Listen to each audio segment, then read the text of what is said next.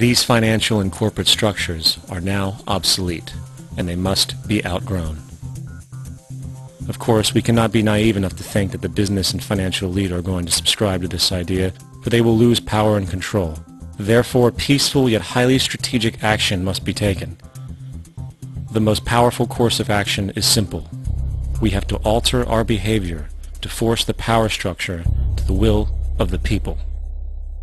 We must stop supporting the system.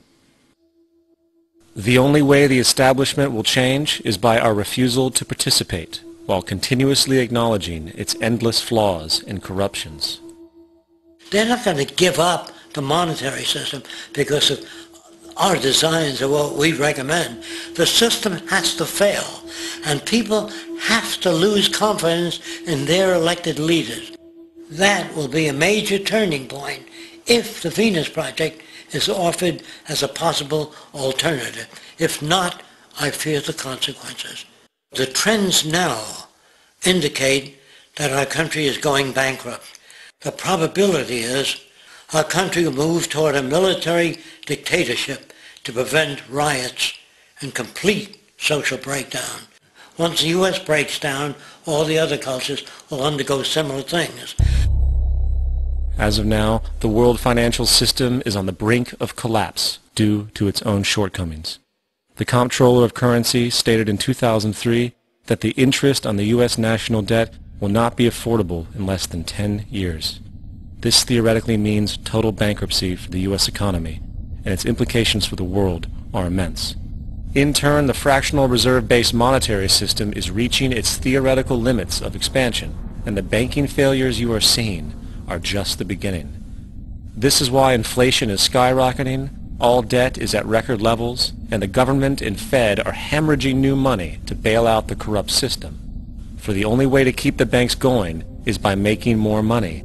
The only way to make more money is to create more debt and inflation. It is simply a matter of time before the tables turn and there is no one willing to take new loans, while defaults grow, as people are unable to afford their current loans. Then the expansion of money will stop, and contraction will begin on a scale never before seen, ending a century-long pyramid scheme. This has already begun. Therefore, we need to expose this financial failure for what it is, using this weakness to our advantage. Here are some suggestions. Expose the banking fraud. Citibank, JP Morgan Chase, and Bank of America are the most powerful controllers within the corrupt Federal Reserve System. It's time to boycott these institutions. If you have a bank account or a credit card with any of them, move your money to another bank. If you have a mortgage, refinance with another bank. If you own their stock, sell it. If you work for them, quit. This gesture will express contempt for the true powers behind the private banking cartel known as the Federal Reserve and create awareness about the fraud of the banking system itself. 2. Turn off the TV news. Visit the emerging independent news agencies on the internet for your information. CNN, NBC, ABC, Fox, and all the others present all news pre-filtered to maintain the status quo. With four corporations owning all major media outlets, objective information is impossible. This is the true beauty of the Internet, and the establishment has been losing control because of this free flow of information. We must protect the Internet at all times, as it is truly our savior right now. 3.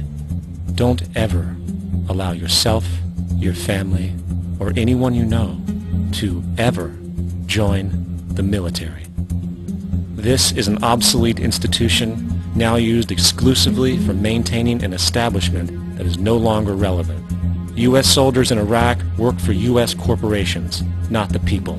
Propaganda forces us to believe that war is natural and the military is an honorable institution.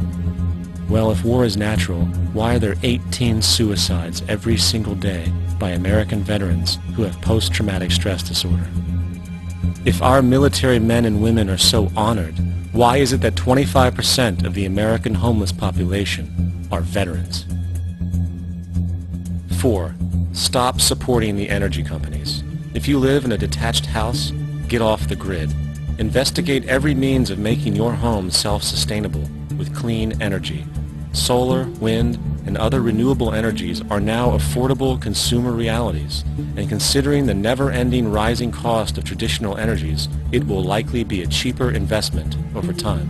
If you drive, get the smallest car you can, and consider using one of the many conversion technologies that can enable your car to be a hybrid, electric, or run on anything other than establishment fuels. 5. Reject the political system.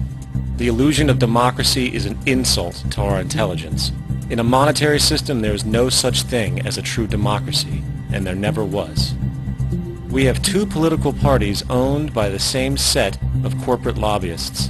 They are placed in their positions by the corporations, with popularity artificially projected by their media. In a system of inherent corruption, the change of personnel every couple of years has very little relevance. Instead of pretending that the political game has any true meaning, focus your energy on how to transcend this failed system. And six, join the movement.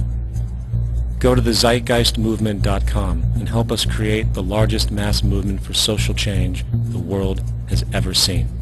We must mobilize and educate everyone about the inherent corruption of our current world system, along with the only true sustainable solution, declaring all the natural resources on the planet as common heritage to all people, while informing everyone as to the true state of technology and how we can all be free if the world works together rather than fights.